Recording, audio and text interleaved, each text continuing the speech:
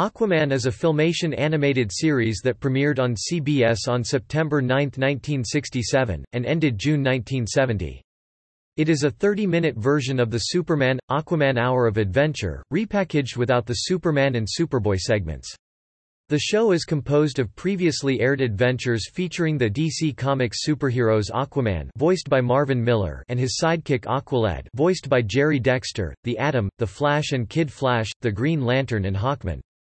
The Justice League of America Atom, Flash, Green Lantern, Hawkman and Superman and Teen Titans Speedy, Kid Flash, Wonder Girl and Aqualad are also featured in team adventures. The series was narrated by Ted Knight.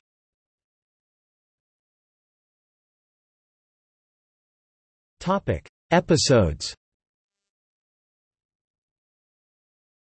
36 Aquaman segments were produced for the Superman – Aquaman Hour of Adventure, plus 18 segments featuring other superheroes.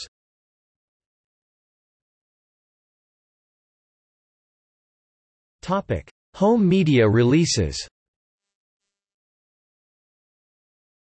In recent years, Aquaman episodes have been seen as part of Cartoon Network's Boomerang.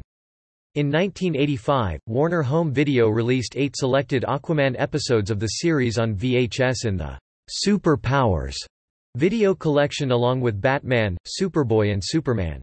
These videos were re-released in 1996 and are now out of print.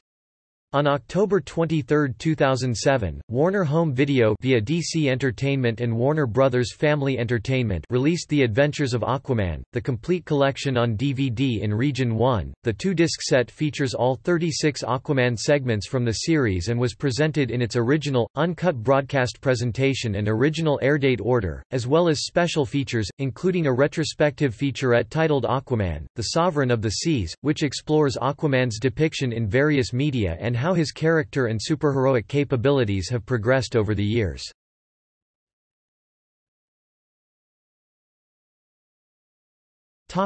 External links.